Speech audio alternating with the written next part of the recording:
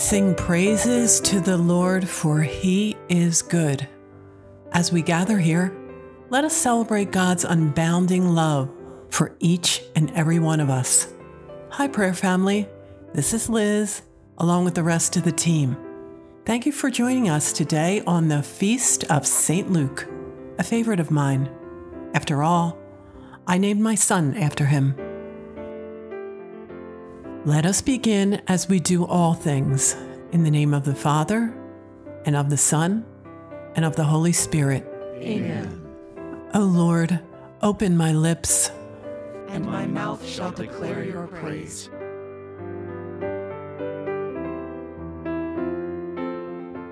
What I Seek, based on Psalm 29. One thing only do I desire of the Lord that I may seek and live in God's presence. I have known his shelter from threatening storms, a father's love shining with grace and mercy. To live with God is to live with love, blessed with peace, welcoming the lost to the protection of his home. To live with God is to abide with beauty that nurtures the soul. So, one thing have I asked of the Lord that I will seek after, that I may dwell in the house of the Lord all the days of my life. To behold the beauty of the Lord and to worship in his temple. To bring silence into my days that I may hear his voice. Praise God, from whom all blessings flow. Glory be to the Father, and to the Son, and to the Holy Spirit, as it was in the beginning, is now, and will be forever.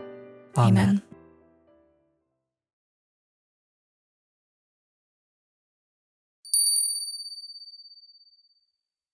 A reading from the Gospel of Luke, chapter 10, verses 1 and 2.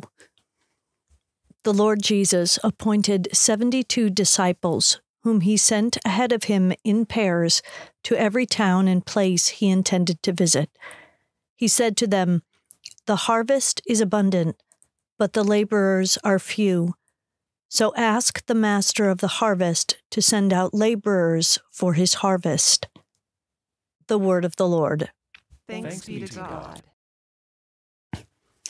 Today is the feast day of St. Luke the Evangelist. He's the author of one of the four Gospels, and he's given credit for recording the events of the early church in the Acts of the Apostles. St. Luke was one of the four evangelists, but not one of the twelve apostles. He never met Jesus in person. He came to know Jesus by talking to eyewitnesses to the events in Jesus' life, death, and resurrection.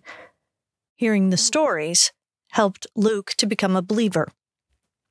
Every one of the four Gospels has a unique perspective, is written for a specific audience, and relates certain details and stories that the other Gospels don't have. St. Luke likely wrote for a non Jewish crowd. In his Gospel, Luke helps us to know how concerned Jesus was for the sick, the poor, and anyone in need of help, mercy, and forgiveness.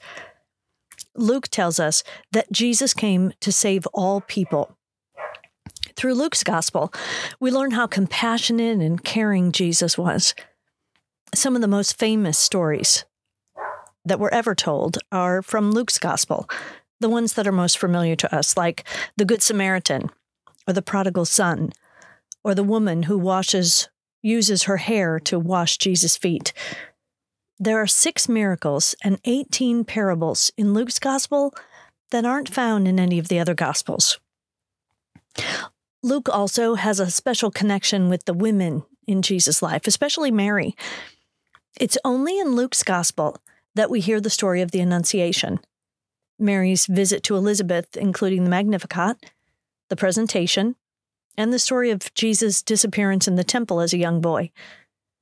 It's Luke we have to thank for the scriptural parts of the Hail Mary, like Hail Mary, full of grace, spoken to her at the Annunciation, or Blessed are you, and blessed is the fruit of your womb, Jesus, spoken by her cousin Elizabeth.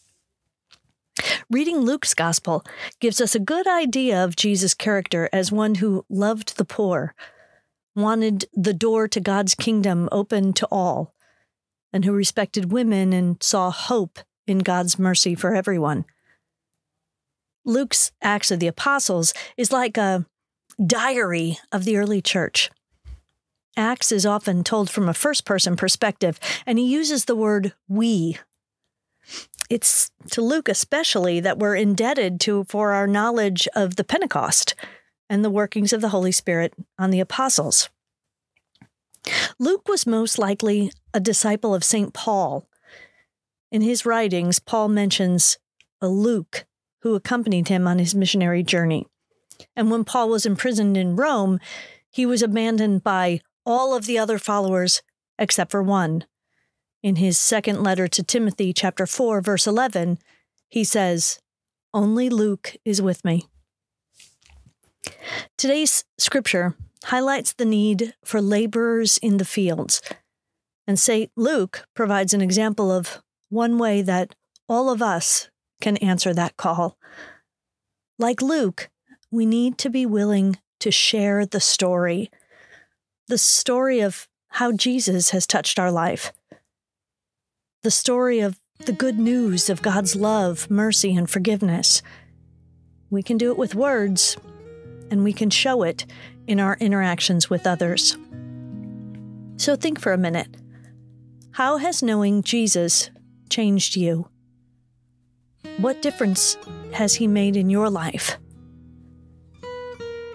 Let's look for an opportunity to share that story with someone today in celebration of the life of St. Luke.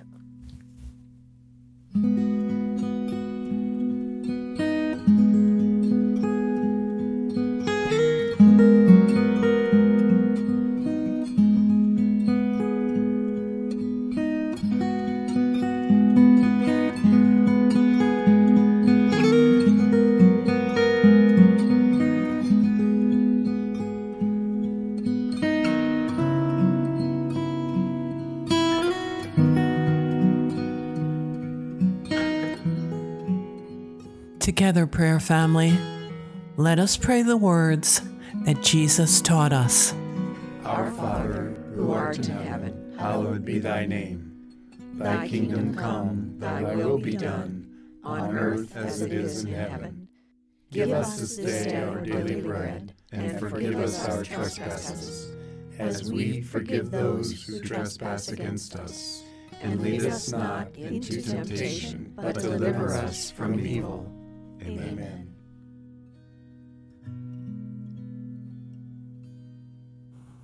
Let us pray. Father, thank you for this day. We ask that you will guide our thoughts, our words, and our actions. Please stay with us throughout the day and help us navigate whatever comes our way. In trust, we pray. Amen. We are so very grateful you joined us here at the God Minute. Thank you for praying with us. May the love of Almighty God, who is Father, Son, and Holy Spirit, watch over us this day. Amen. Before we end today, our annual All Souls Mass is again on November 2nd this year, just two weeks away please check the app blog on our website for all the information and links to upload a picture of your loved ones to be included in this special Mass said by Father Ron. Have a wonderful day, prayer family. Thanks again for listening. Until we meet tomorrow, stay blessed.